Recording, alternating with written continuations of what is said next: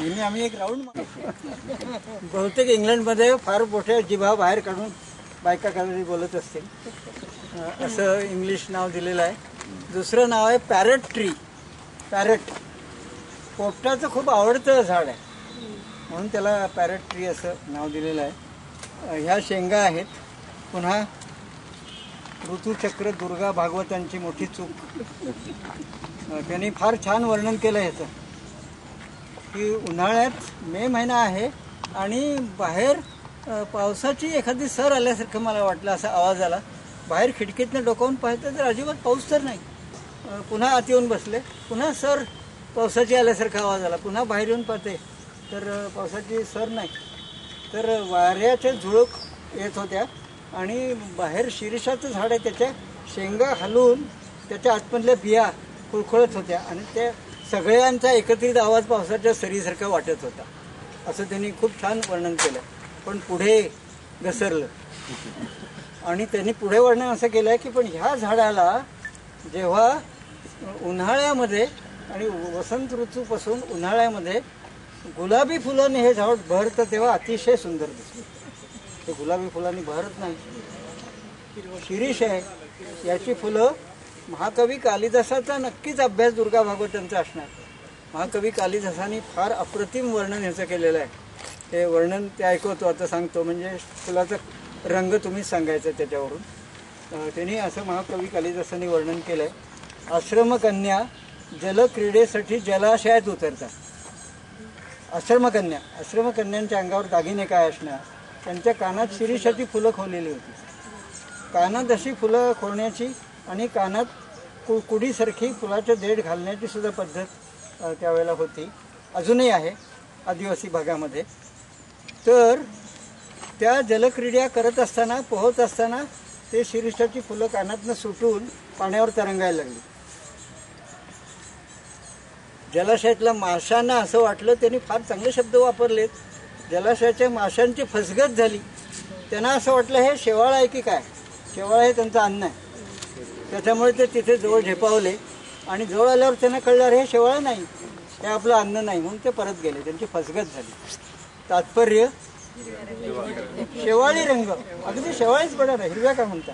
हिरवा पिवळा पांढरट असं मिश्रण थोडंसं असलेला शेवाळी रंग शिरीषाचा आहे. पुन्हा मला फार आश्चर्य वाटतं की मुंबईला बॉटनी डिपार्टमेंट आहे. आणि शिरीषाच्या झाड त्याच झाडाला अशा शेंगा येतात की नाही पाहायला पाहिजे होतं की ह्या शेंगा येणाऱ्या झाडाची फुलं कुठल्या रंगाची आहेत? हे दाराच्या बाहेर खिडकीतनं बाहेर दार आहे ते. झाड आहे. आणि परत या फुलांना सुवास गुलाबी फुलांना नाहीये पर्जन्य. वृक्ष हा ब्राझीलमधला आहे. आणि तो भारतीय नाही आहे तो शिरीष नाही आहे. फक्त आता शिरीषच्या जिनसमध्ये त्याला टाकलंय. पूर्वी जिनस हे वेगळं होतं ते मला बरं वाटत होतं. त्याचं नाव आहे सामान्य सामान होतं. रेन ट्रीचं आणि ह्याचं अल्बिझिया लेबेक. तर अल्बिझी नावाचा इटिया इटालियन शास्त्रज्ञ त्याचं नाव दिलेलं. आणि लेबेक हे सुद्धा इटालियनच नाव आहे. तर अल्बिझिया लेबेक म्हणजे शिरीष. आणि आता अल्बिझिया सामन म्हणजे रेंट्री. आता त्याला सुद्धा ह्याच्यातच घातलेला आहे. साम्य आहे दोन्हीमध्ये काहीच प्रश्न नाही आहे आणि तो फार मोठा होतो. पुण्यात इतके मोठे रेंट्रीज आहेत. खोड एवढं असलेले आहे. याच्यापेक्षा मोठं खूप खोड झालेले सुद्धा मी पाहिलेले आहेत दक्षिणेकडे. बापू हा काळा शिरीष म्हणता हा? नाही. काळा शिरीष नाही. नुसता शिरीष. नुसता शिरीष वेगळा पांढरा शिरीष वेगळा काळा शिरीष वेगळा. काळा शिरीष म्हणजे अल्बिझिया अमारा. ते कमी आहेत टेकडीवर आपल्या अ, बेताळ टेकडीवर आहेत. आणि पांढरा शिरीष म्हणजे किनई अल्बिझिया प्रोसेरा. अल्बिझिया प्रोसेरा हा पांढरा शिरीष. हा नुसता साधा शिरीष. हा सुद्धा रेन ट्री इतका मोठा होतो एवढं थोडंसं होऊ शकतं.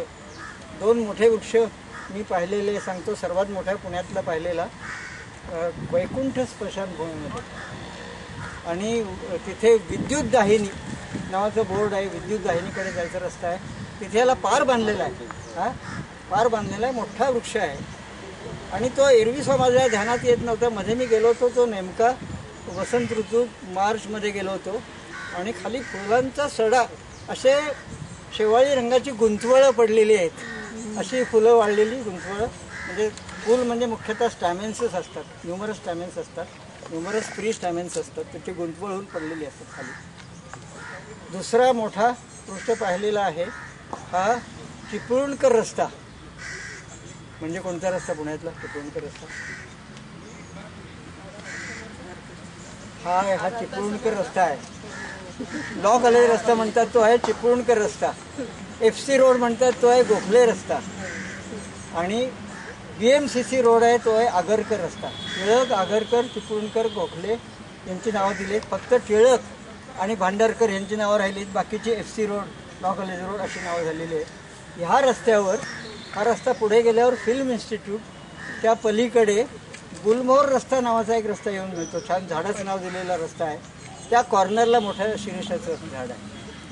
आणि जाता येता गुंतवळी पडलेल्या असतात तरी लोक पाहत नाही वर प- पा- पाहून हे कसलं झाड आहे असं कोणी पाहत नाही. कोणाला माहीत नाही इथे शिरीषाचं एवढं मोठं झाड आहे. वैकुंठाच्या तिथे विद्युत गायनी आत गेल्यावर डावीकडे. मोठं झाड आहे. ते मी त्यावेळेला गेल्यामुळे फुलांचा सडा पडलेला पाहायला मिळाला. त्याचं व्याप्ती